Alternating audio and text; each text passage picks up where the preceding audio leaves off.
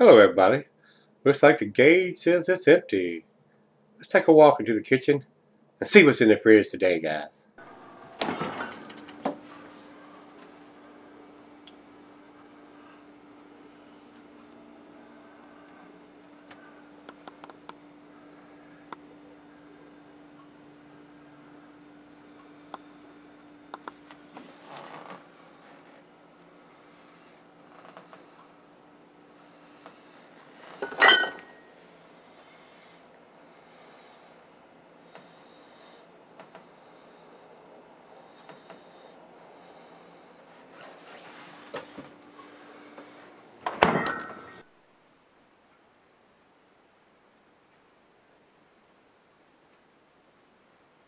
Hello, everybody. Thanks for stopping by Greg's Beer Reviews today. We got a beer here from Hill Farmstead Brewery. They're out of Greensboro, Vermont. This is another one that Matt has sent down to me. Uh, like I said uh, yesterday, the uh, the brewery I have had uh, some subs send me beers from these guys. They are not distributed in Virginia at all. I don't know how far out from the brewery these guys go, but they don't come here. So uh, I don't know how big the brewery is. Maybe they're just distributing in the uh, the Northeast, uh, in the New England states, or, or, how far out they're going. I'm not exactly sure. So uh, I was pretty impressed with what I've had from them so far. So let's see where this one goes. This is their Twilight of the Idols. And then it's got something written down there. It looks like it's in German or Danish or something on it there. I cannot read it. Says here porter brewed with coffee and aged on vanilla beans. That sounds tasty. This is a 7.2 percenter and then you got the bottle on date right here of 11 looks like 11 20 of 2015 it's kind of smudged but I believe that's what it is so uh, and uh, Matt told me that he picked these up at the brewery I think he told me uh, in the letter that he sent so or in an email So let's get on with this one here, guys. Uh, says 7.5 here, but the bottle has 7.2. Both Beer Advocate and Rate Beer both have it at 7.5, so maybe the recipe changes from year to year, or the, at least the ABV does anyway. Commercial description, a winter porter brewed with coffee and cinnamon, aged on vanilla beans, or a holiday ale, is named after the last text written by one of our philosophical idols, Friedrich Nietzsche, Nietzsche and his Twilight of the Idols, The Antichrist. Uh, not a big book reader, so I've not read it. Uh, da, da, da, don't think there's anything else I ever need to talk about. It does not have the IBUs listed here, and I did not see it on the bottle. So uh, let's go over to the food pairings for this beer. Cuisine is barbecue, cheese is buttery brie gouda Havarti, Swiss, and since it is a porter, it goes well with your chocolate dishes, of course, and the meat is beef, smoked meat, grilled meat. Glassware a pint back like tumbler mug style inside out. My favorite glass again today. And not recommended for extended cellaring unless the ABV extends average range. 7.2. This should keep for a little while. I'm not sure uh, what would fade over time if you wanted to sell this for a year or two or three. So let's get the cap off of this one. This is a 500 milliliter bottle, so it's a little bit bigger than a 12 ouncer and a little bit smaller than a 22, I guess.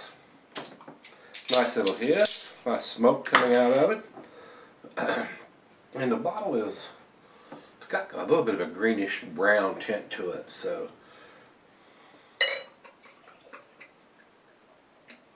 I better ease up on that pour so I don't get a massive head.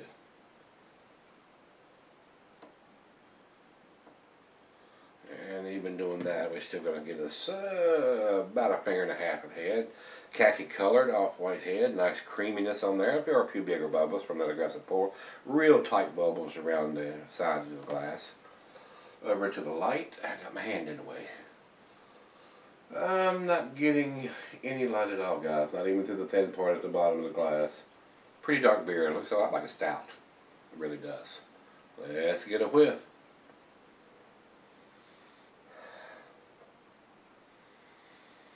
Definitely getting the roasted malt and the vanilla. Little hints of the cinnamon.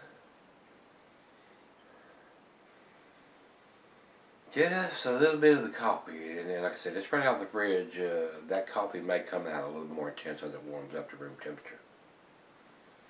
Smells pretty tasty. Let's give it a chug. See what we got. Cheers, everybody. Cheers, Matt. Thank you, my brother.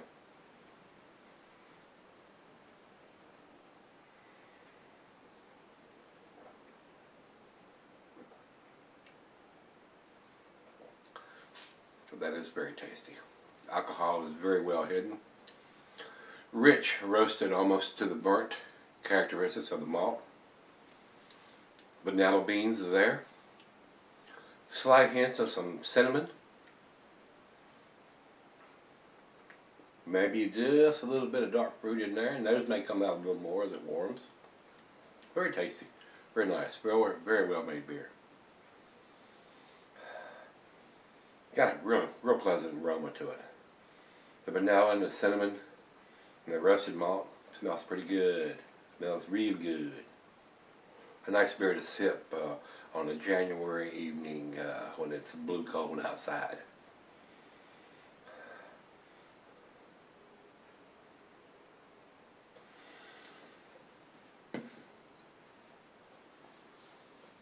Oh yeah, very tasty. Awesome lacing is leaving on the glass. Well, let me pour uh, the rest of this in a glass for her and sip on it for a little bit and see where this one ends up. Pretty impressive so far right now. I'm going to sip on it for a while, see where it ends up. I'll be right back. Alright guys, I'm back. Been sipping on about 35 minutes or so. Very tasty. Very well made beer. Now that it's room temperature, the uh, rich roasted malt and the cinnamon and the vanilla beans are are definitely there. You, I can taste all of that stuff, guys. And some coffee. Not a lot of coffee, but just a slight hint of some coffee in there.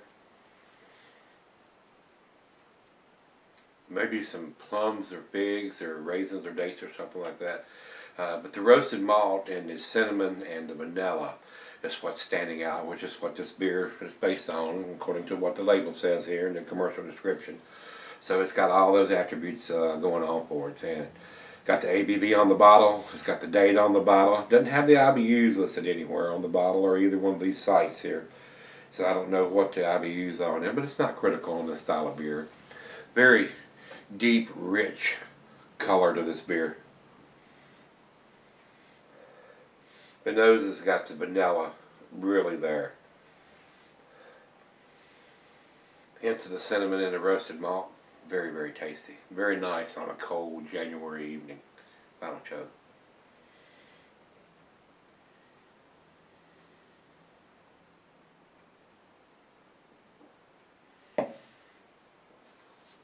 Awesome lacing left on the glass.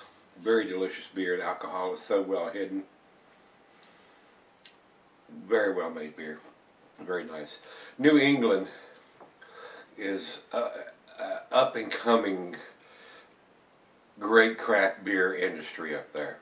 Uh, a lot of uh, craft beer, uh, breweries up there are making some very, very tasty beers. So, uh, big stiff competition for a lot of them that's coming out of California and Oregon and Washington. these guys up in New England are doing some really good stuff too. Really tasty stuff. Very nice. I enjoyed this thoroughly. I would buy this beer if I could get it here. I would. Uh, as far as I'm concerned, guys, uh, 9 out of 10 for me on this one. All the way this beer could be better if you put it in a bourbon barrel. I'm a big fan of the bourbon barrel versions of stuff like this. So, uh, if I was putting a numeric rating on this, guys, it'd be a 98 or a 99. It's pretty close. It's so close to a 10. And if you told me, oh man, you're crazy, that's a 10, I would not argue with that. It is damn sure tasty. Uh, over to Beer Advocate, they say 95 world class. No doubt, it is a world-class beer. Very well made. And over to Rate Beer. Rate Beer says 99 overall and 100 in the style. That's what I'm saying. If if you say, oh man, this is this is a 10, I, I'm not going to argue with that. Would not argue with that for a second.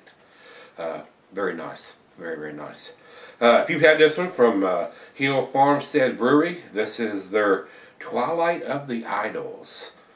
Very tasty. I, I like it. I liked it a lot. very nice. And uh, if you've had it, let me know what you think, guys. And come on back tomorrow. Let's see what we can dig out of the fridge. Maybe we'll get us another nine or ten. See you then.